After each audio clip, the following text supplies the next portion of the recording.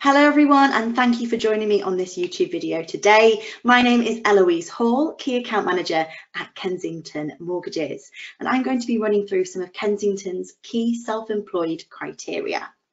In 2019, over 50% of Kensington's business was to self-employed applicants. So this really is an area of the market which we deal with very often and our underwriters live and breathe.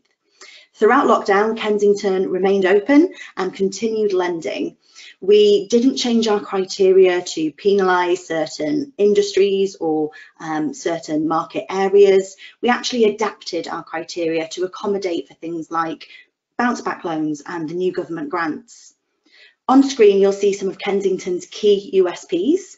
The first one being LTV. Now, pre-COVID, our maximum LTV was 95% for a customer who has two years trading history and up to 85% LTV for a customer who only has one year's trading history. Due to current market volumes that we're experiencing at Kensington, our maximum LTV is currently 80%, but in due course, we do anticipate this to return back to normal the, we will always use the latest year's figures towards affordability, which has been a great USP for particularly customers who have just started out as in a self-employed business. Um, so if their first year is much lower and then their second year is much higher, much more of a reasonable level they expect to continue. Um, that's been a great USP of ours, just being able to take their uh, latest, highest year's figure. Uh, when we're looking at limited company directors, we do have flexibility. We can use either salary and dividends or salary and net profit, uh, whichever one's most advantageous, providing that that limited company director holds a 50% share or more of that business. We often deal with a scenario which is uh, we often discuss and we know is uh, not always very convenient for brokers that as soon as a, a, broker is about to submit an, a mortgage application for a new property or remortgage a customer, their accountant just at that point in time has said, actually, instead of being a sole trader, you should be a limited company. Let's get you changed over, which that can cause a lot of problems for some lenders. For Kensington, however, that's absolutely fine. Um, if a customer has only got one month as a limited company, um, that's not a problem. We would just use their latest year's figures. So if that is from their sole trading business, we're comfortable to use that, providing there hasn't been a big material change to that business. Um, our self-employed criteria is also compatible with our high earners criteria. Our high earners criteria offers up to six times income uh, on affordability uh, when we're looking at high earners. Now we describe high earners as somebody who has 100k income or a joint income of 100k. So for example, we could have uh, Mr. who is a self-employed accountant and Mrs. who is a self-employed um, so, uh, solicitor. And for those two couples, they could have a, a, basic income of 40k and dividends of 10k.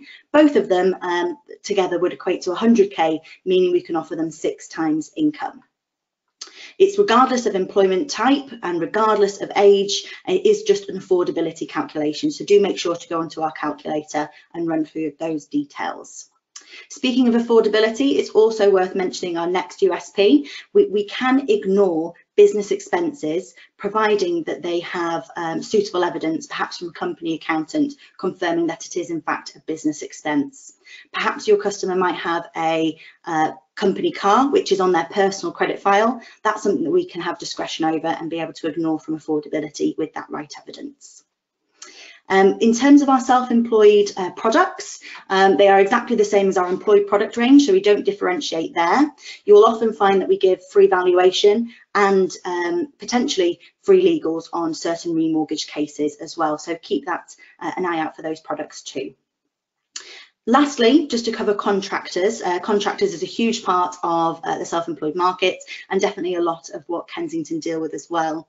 Uh, we use a calculation which is day rate times by 48 weeks. Um, we do have quite a lot of understanding when it comes to complex contractor structures. So if, for example, um, your contractor might have set up their business through an umbrella company, that's something that our underwriters do understand and can consider um, that, that those types of applications as well. We do usually like to see 12 months employment history, uh, it being a contractor, uh, and we do look at gaps within those contracts, something we've seen more and more recently. Um, so that's definitely something we can look at. I really do appreciate you taking the time to come onto this video today. Um, if you do have any further questions or want to get into some more nitty gritty detail, please go onto the Kensington website and look up our criteria or your contact details for your local Kensington BDM can also be found on the website. Uh, so get in touch and speak soon.